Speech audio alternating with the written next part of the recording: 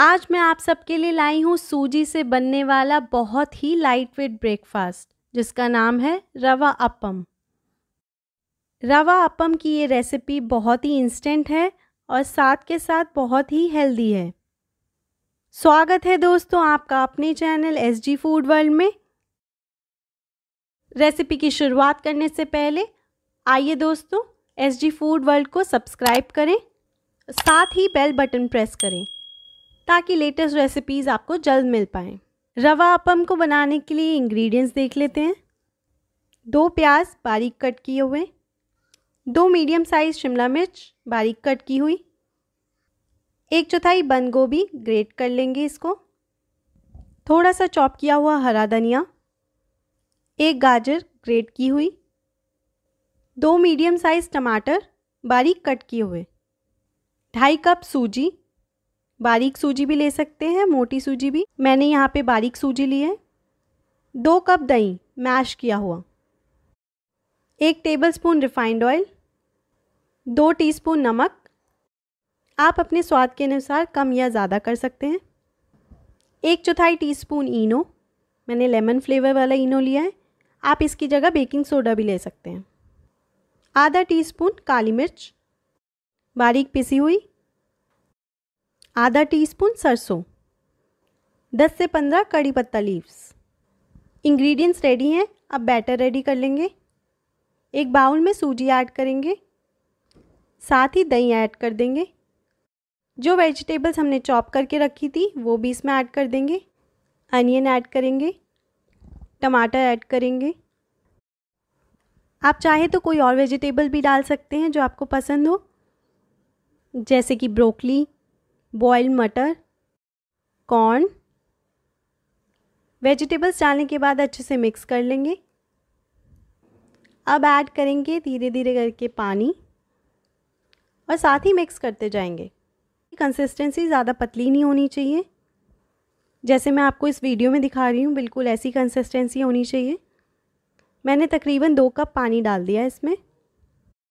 Batter को 10 से 15 minute के लिए ढक के सेट होने के लिए रख देते हैं। ताकि सूजी भी अच्छे से फूल जाए।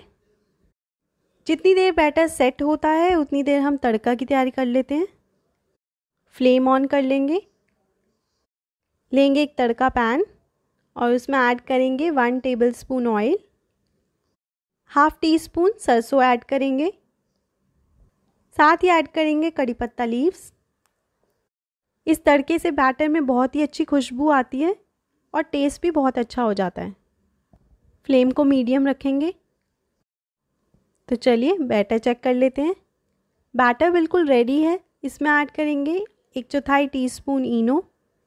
इनो की जगह आप बेकिंग सोडा भी डाल सकते हैं। वो भी सेम वर्क करता है। इसे डालने से सॉफ्ट बनते हैं। साथ में बहुत ही फोके और टेस्ट में बहुत ही अच्छे लगते हैं। मिक्स कर लेंगे अच्छे से। अब जो हमने तड़का रेडी किया था वो इसमें ऐड कर देंगे। एक बार फिर से बैटर को अच्छे से मिक्स कर लेंगे। देखिए कितना बढ़िया लग रहा है ये। और इसमें कड़ी पत्ते की बहुत अच्छी खुशबू आ रही है। रवा अपम बनाने के लिए एक अपम पैन लेंगे। ये मार्केट में ईज़िली आपको मिल जाएगा। पैन को ऑयल से ग्रीस कर लेंगे। ताकि जब अपम सिक जाएँ तो आसानी से निकल जाएँ। जो बैटर हमने रेडी किया था, वो इसमें फिल करेंगे। सिर्फ़ एक एक चम्मच हर मोल्ड में आपको डालना है, इससे ज़्यादा नहीं। अगर हम बैटर ज़्यादा डालेंगे तो अपम फूल कर मोल्ड से बाहर आ जाएँगे। ऐसे ही बाकी सारे मोल्ड्स को भी फिल कर लेंगे। अपम को थोड़ा कलरफुल करने के लिए कुछ वेजिटेबल्स मैंने ऑलरेडी ग्रेट करके रखी है, वो मैं ऊपर से स्प्रिंकल करूँगी, ताकि ये देखने में और डिलीशियस लगे। अब अपम पैन को हम फ्लेम पर रखेंगे। लिट से कवर कर देंगे और चार से पाँच मिनट के लिए लो फ्लेम पर इसे पकने देंगे। पाँच मिनट बाद चेक कर लेते हैं। अब अपम पैन के साथ ही एक वुडन स्टिक आती है। पलटने के लिए अगर आपके पास नहीं है तो आप स्पून भी यूज़ कर सकते हैं। अब ये सारे अपम को पलट देंगे। देखिए, जितना मोल्ड का साइज़ था, मैंने बैटर उतना ही लिया है। तो अपन बिल्कुल एक्यूरेट बने हैं, अच्छे से सीख भी रहे हैं। वापस से इसको लिड से कवर कर देंगे और तीन से चार मिनट के लिए लो फ्लेम पर पकाएँगे। तीन से चार मिनट के बाद हम देखेंगे, बिल्कुल अपम रेडी हैं। बहुत ही टेस्टी लग रहे हैं ये अपम ये इंस्टेंट सूजी अपम बनाना बहुत ही आसान है और इतने डिलीशियस हैं कि आप खाते खाते थक जाएँगे पर मन नहीं भरेगा। इस रेसिपी को शेयर ज़रूर करें अपने फ्रेंड्स एंड फैमिली के साथ। मिलूँगी ऐसी ही और मज़ेदार रेसिपीज़ के साथ। तब तक के लिए goodbye take care don't forget to like share and subscribe